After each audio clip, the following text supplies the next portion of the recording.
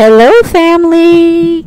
I missed you yesterday, but a sister was tired. Woo, child, I was tired. I could not do it. I could not do it. But I want to say I'm back, and it's time to play catch up. Okay, but before we play catch up, I just want to say thank you and give me some shout outs or give you all some shout outs of some new family members that dropped by the channel. Yes, they dropped by the channel, put in their inputs in the chat section and and went on about their business but they weighed in on several different videos we were talking about in the present and in the past but we're going to give a shout out to uh, evolutionary scorpion jesse brown Deborah Randall, Sandra Chestnut, hey girl, Linda uh, Robertson, uh, Nadine Leo, Diane Long, Beatrice Holland, Successful Ladies Live, okay, or Live, however you want to put it, uh, Marilyn Jackson Blair, uh, is it Jalen Johnson, and Shirley James uh, or is that Shirley Jones? Okay, I think it's Jones. But anyway, wanted to say happy, happy, happy days are here again. Thank you for coming over, stopping over at the house, getting acquainted with one another. Hopefully, y'all had a good time. Hopefully, you express yourself. Okay, Lovely, lovely, lovely. And don't forget to keep in your prayers Rita Hopkins. She had surgery, I think it was two days ago, on her back. So send love and prayers down in chat for her. Interact or just keep her in your prayers, okay? She's family now. She's family, okay? And that's what we do over here. We acknowledge, we keep people in prayer, and we talk shit. Okay? That's what we do. That's what families do, right? Okay. So basically, we're going to be retouching back on a subject that we had got on well, way on back sometime. It was talking about uh, Snoop Dogg's son coming out here wearing makeup and, and uh, women's clothing and earrings and all that stuff, stapling himself out there as being a part of the LGBT community, or maybe he's transgender, maybe he's transitioning over to becoming a lady, or he just like to call himself an androgynous person, such as Prince was. Okay, because we know he got down in them heels, but a lot of people say it was because of his height you know, he was kind of short, maybe four something feet, and he wanted to elevate himself a little bit. I could get with it, I could get with it, but he damn sure had a sexy side to him too. Some people may not think so, but honey, I used to love myself some Prince, and you know he was a great musician, and he could sing, sing his ass off, even if he had no music, okay? And he used to get down there and do them splits like James Brown and slide across that stage, and woo, Lord have mercy, getting hot just talking about it, okay? but in the meantime, in between time, all this stuff was coming out on Snoop Dogg's son Cordell and him leaving the football, you know, leaving college, you know, not playing football anymore for a college uh, program. He was at some university.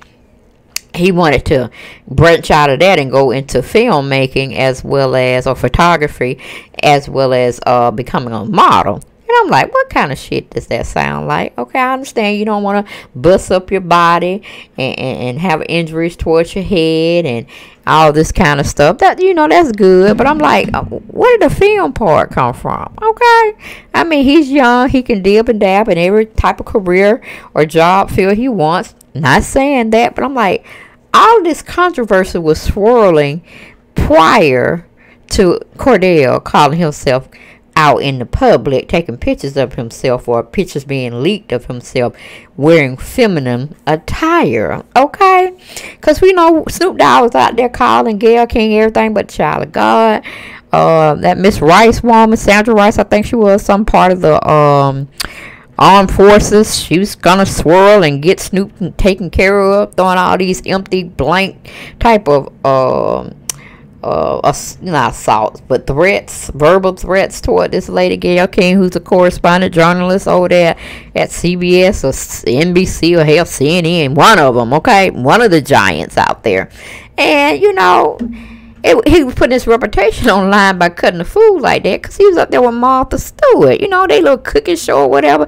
You know, I always wonder, fam, did they ever get into bed with each other? I'm thinking. Because, you know, when you're in Hollywood, which is highly weird, you got to do some strange things for some change. You think Snoop Dogg hit that? Do you think Snoop Dogg hit Martha? Girl, that would be something to talk about, ain't it? Well, we can talk about it. Get down in them comments. Let me know. Do y'all think he hit Martha? That's why they so close and he always hugging up on her. Hell, he probably hit uh, Gayle King as well as uh, Oprah Winfrey. Because, you know, they're part of the same club, that elite club, that Illuminati club. Hell, Prince was too. Just about everybody who made it pretty much big and, and called themselves uh, being superstars and living a superstar life. Just think about some of the clothing they wear, the, their video setups, their backgrounds and their videos, them hand signals they be throwing up. Yeah, you know what I'm saying?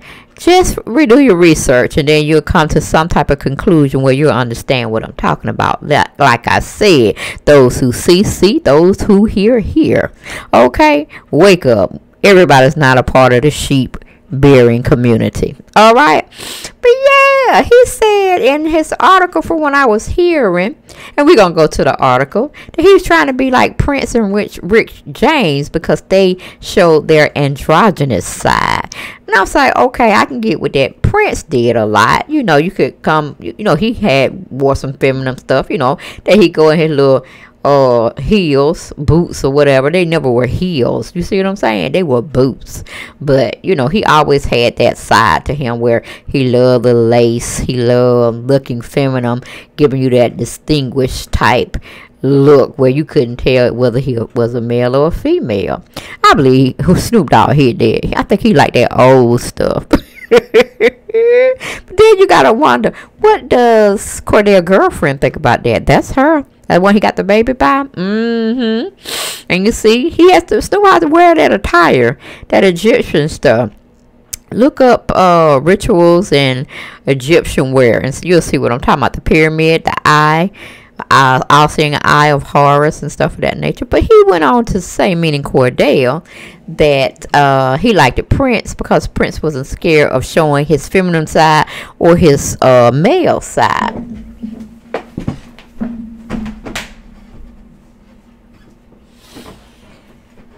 And then I'm thinking, well, did Snoop Dogg do all this threatening and stuff to take the pressure off of his son having to have to come out and, you know, be looked upon as an androgynous person? See, um, Prince had did some pictures and photography, and maybe he wanted to be a little model too.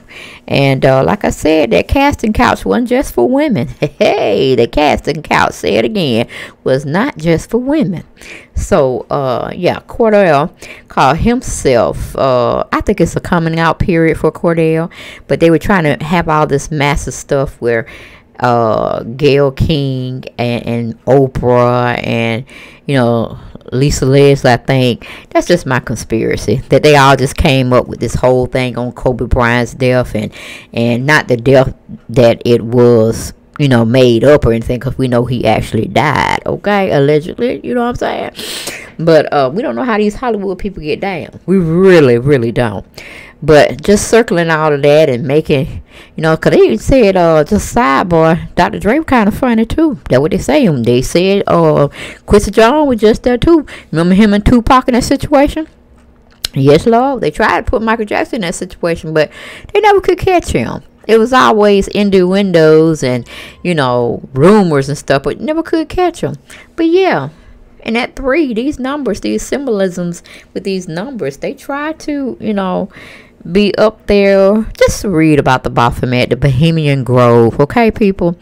We don't need to say that much. Just do your research. But for this young man to be coming out doing this, I wonder is Snoop Dogg having a sacrificial, uh, treating his son as a sacrificial lamb to get something he wants, and he has to have his son come out looking like that? Or is his son wanting something in Hollywood and he has to come do what he got to do. But I was just saying the smoke screen around Kobe's death, you know, how everybody was going into the infraction or infidelity he had made against his wife Vanessa and the whole thing of Gayle calling herself interviewing Lisa Leslie and you know them talking about a delicate issue that could have been you know expressed sometime down the road maybe four or six months later after Kobe's death it hadn't been like right on the spot like that but Gayle chose her time and, and place of when she wanted to do something because, you know, all of them in that club, I'm telling you, all of them in that club, one hand watches the other. And if it means to get somebody out there and shade some of the attention uh, and have another salacious story going on, you don't know which one to partake of. So it's going to split the eyes and the ears of what people want to watch. So, of course, you know, a lot of people was watching, you know, Snoop Dogg make all these empty, idle threats towards Gayle King when he wasn't going to do anything. And it was just like a celebration coming out or a celebration party for his son being inducted into another realm of life and living. Okay? That's just my speculation now. Because y'all can go deep with me. We can go on down that rabbit hole. All right? But, you know, I need y'all to think about this situation. What do y'all think? Was all those things uh, that were happening with Gayle King and Snoop Dogg and Oprah jumping in it and uh, that Sandra Rice woman?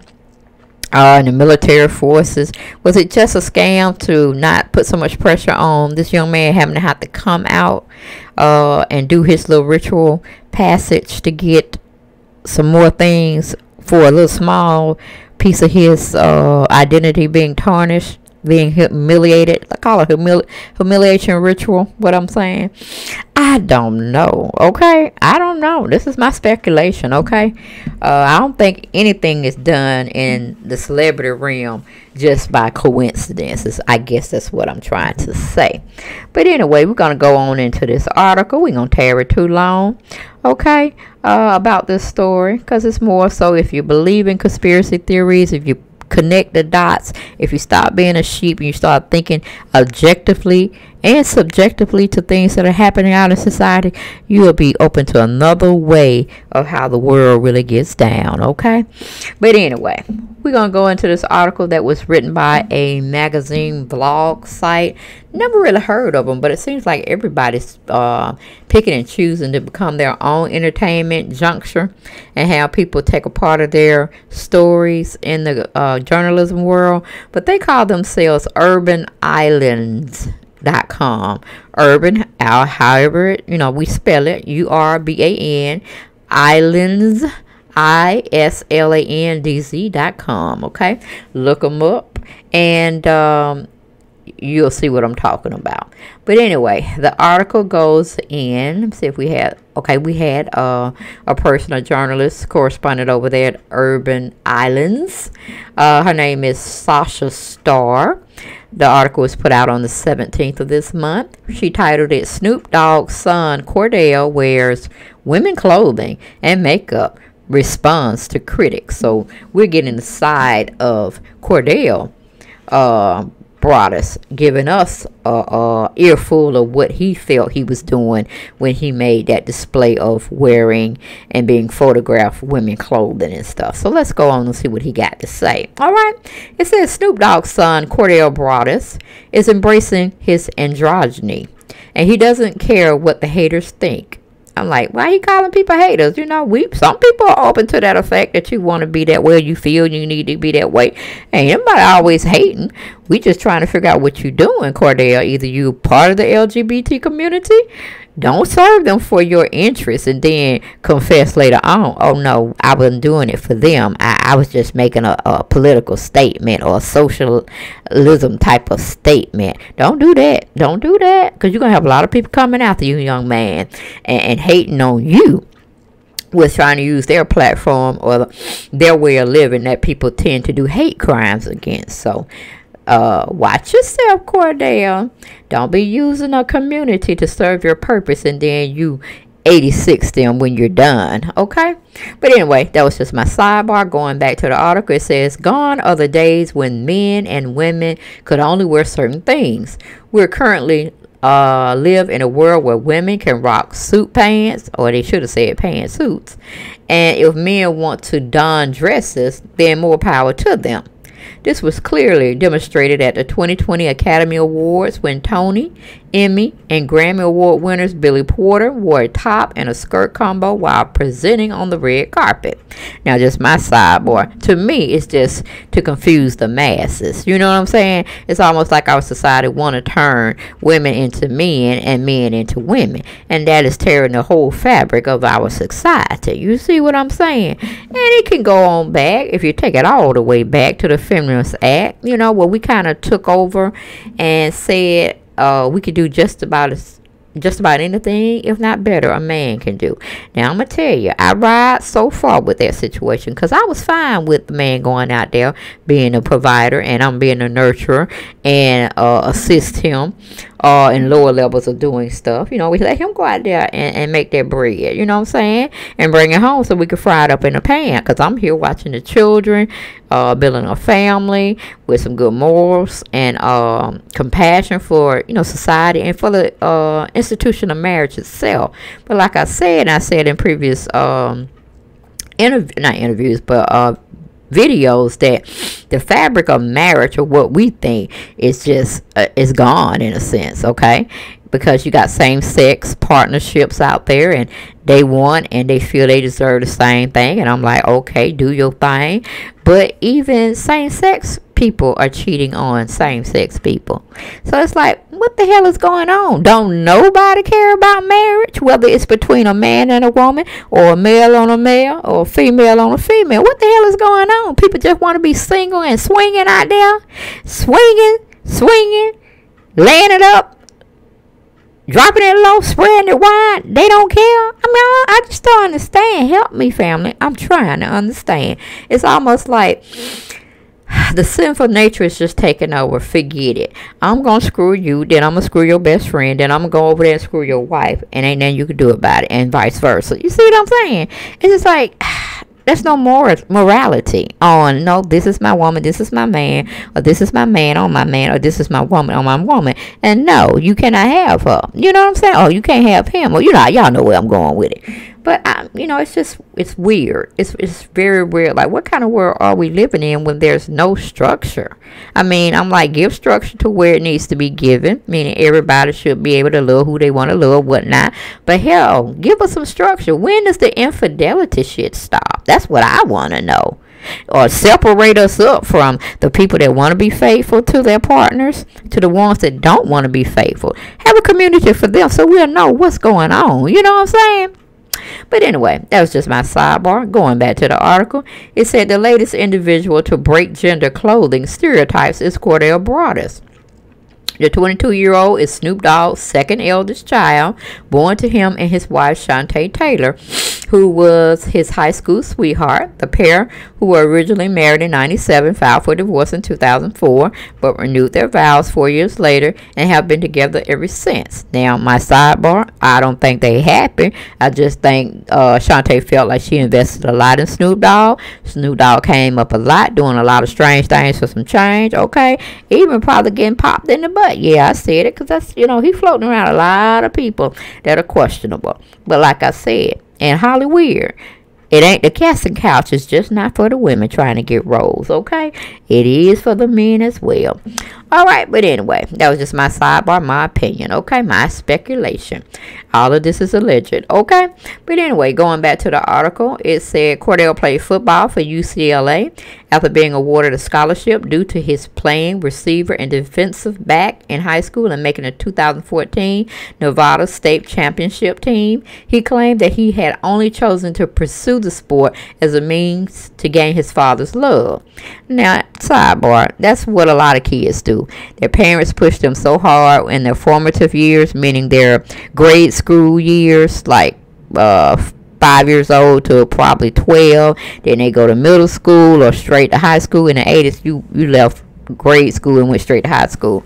But you know, you have that in between time where puberty, puberty, puberty hits, and it's between the stages of let me see 12 and 14 15 and then you know 16 you start really getting into the groove of trying to be an adult about certain things and, and you know thinking as an adult in some ways uh, and you know you just have that pleasing part that you want to please and, and, and honor and do whatever your parents want you to do. And you want them to be proud of you. And you know Snoop Dogg is a very heavy fan in the sports arena. And you know by having you know two sons like they were he wanted to expose them to that type of life thinking they wanted that type of life. But it seems like Cordell had other plans but he was just pleasing his dad uh, and, and reaching out for his dad's love because he know that's where if Snoop wasn't on the road touring doing his music thing. The other time he would do something to relax was watch sports. Okay,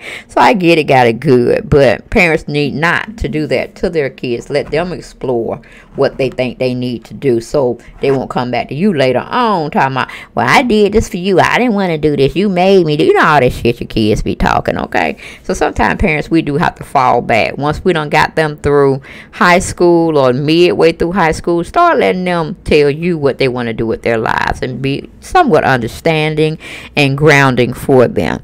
Uh, but yeah, that was just my sidebar. Moving on from there, it said, um, wait a minute. Okay, to gain his father's love, that's why he went and chose sports to, uh, well, he dedicated himself to sports and being uh, a true lover of it because of his father, not necessarily what he felt about the sport. Okay, that was just my sidebar. But going back to the article, it said he added that after a decade, he realized that Snoop Dogg, the infamous, infamous OG gangster rapper, loved his son, the person. It took me 12 years to realize he loves Cordell Broadus, the person, not Cordell Broadus, the football player, he said the I Want to Thank Me rapper son. Decision to put his football playing aspirations aside in 2016 in order to follow other passions meant that he has found himself amongst the world of modeling, having secured his debut gig for MCE Worldwide two years ago.